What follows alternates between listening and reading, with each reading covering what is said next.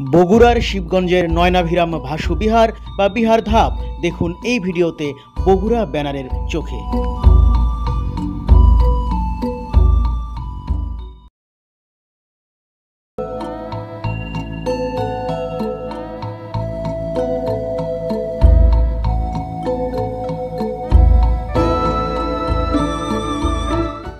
আসসালামু আলাইকুম। আপনারা অবশ্যই আছেন বগুড়া ব্যানারের সঙ্গে। আর বগুড়া ব্যানার আপনাদেরকে নিয়ে এসেছে বাংলাদেশের অন্যতম প্রাচীন প্রত্নতাত্ত্বিক নিদর্শন, ভাসু বিহারে। স্থানীয়রা যাকে বলে নরপতির ধাপ বা বিহার ধাপ।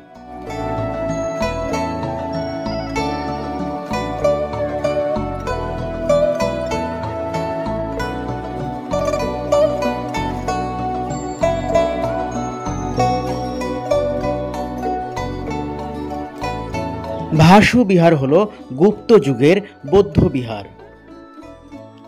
ভাসু বিহারের অবস্থান বাংলাদেশের রাজশাহী বিভাগের বগুড়া জেলার শিবগঞ্জ উপজেলার বিহার গ্রামে।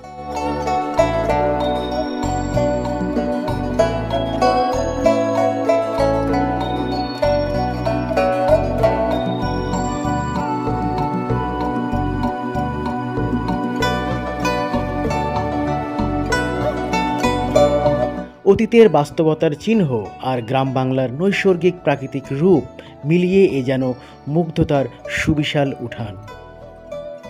আপনারা ভাসুবিহারে দেখতে থাকুন আর তার সঙ্গে ইতিহাসটিও জেনে নেওয়া যাক।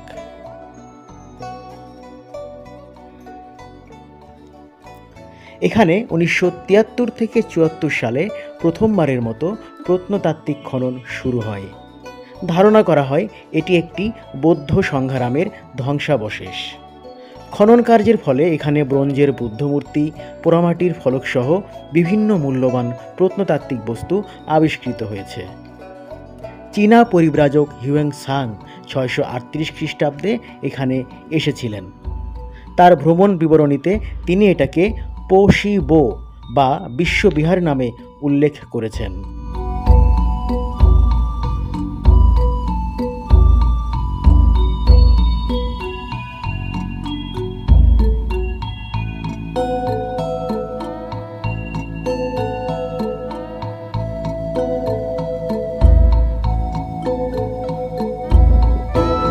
খুব সম্ভবত এটি বৌদ্ধদের ধর্মীয় বিদ্যাপীঠ হিসেবে গুরুত্বপূর্ণ ছিল।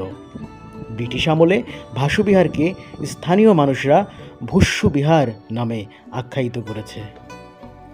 দেখছেন ভাসুবিহার, দেখছেন ঐতিহ্যের অতীত। দেখতে থাকুন আর একই সঙ্গে জেনে নেওয়া যাক এখানে আসলে কি ছিল আর এখন আসলে আপনি কি কি দেখছেন।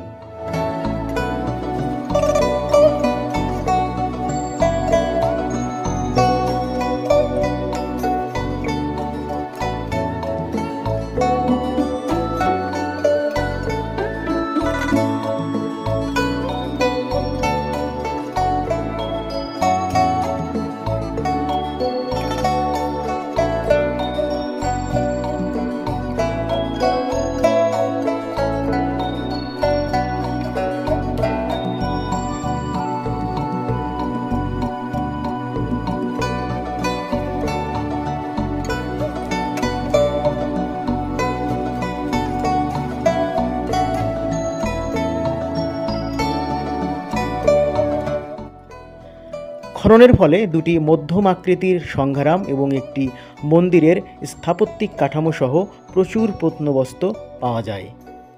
ছোট সংঘারামটির আয়তন উত্তর দক্ষিণে উনপঞ্চাশ মিটার এবং পূর্ব পশ্চিমে ছেচল্লিশ মিটার। এর চার বাহুতে ভিক্ষুদের ছাব্বিশটি কক্ষ রয়েছে। কক্ষগুলির সামনে চারদিকে ঘোরানো বারান্দা আর পূর্ব বাহুর মাঝখানে প্রবেশপথ আছে। বড় আকারের একটি খোলা অংশকে ঘিরে এসব ছোট আকারের বৌদ্ধ ভিক্ষুদের আবাসকক্ষ। দেখে মনে হয় খোলা বড় অংশটি ছিল মিলনায়তন। যে মন্দিরের কাঠামো পাওয়া গেছে, তার মাঝখানে বর্গাকার মণ্ডপ এবং চারপাশে ধাপে ধাপে উন্নীত প্রদক্ষিণ পথ রয়েছে।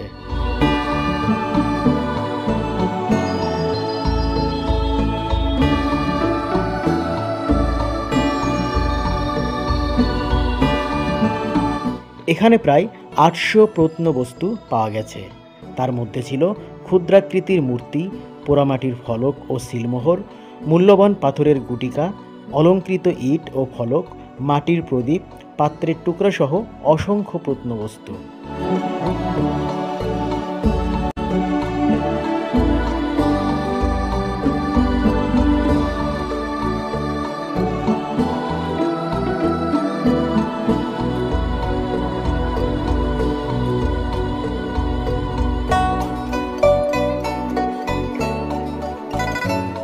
এরকম অসংখ্য পুরাকীর্তি ছড়িয়ে ছিটিয়ে রয়েছে পুণ্ড্রনগরী বা পুণ্ড্রবর্ধন খ্যাত বগুড়ার এই শিবগঞ্জ উপজেলায়। আর যেহেতু এখানকার প্রতিটি স্থাপনারই অবস্থান গ্রামাঞ্চলে, তাই প্রত্নতাত্ত্বিক নিদর্শনাবলীর পাশাপাশি সবুজের সমারোহে সাজানো গ্রাম বাংলার অপার সৌন্দর্য উপভোগ করতে পারবেন সানন্দে।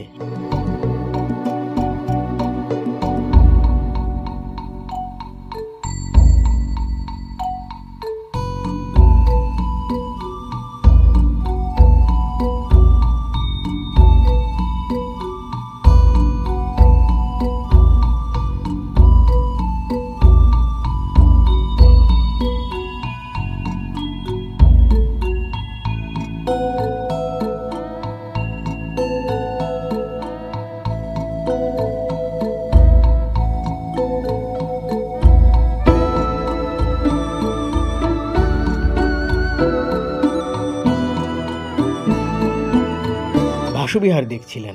ছিলেন বগুড়া ব্যানারের সঙ্গেও। আর ক্যামেরায় ছিলাম আমি, মাহাদি জামান, সুফল। শিল্প নির্দেশনায় ছিল তন্ময় তপু। আর এই মুহূর্তে বগুড়ার ভাসু বিহার থেকে বিদায় নিচ্ছি আমি এবং তপু, তবে পরবর্তীতে নতুন কোনো দেখা বা অদেখাকে বগুড়া ব্যানারের চোখে বগুড়া ব্যানারের মতো করে দেখানোর প্রচেষ্টা থাকবে। আল্লাহ হাফেজ, ফি আমানিল্লাহ।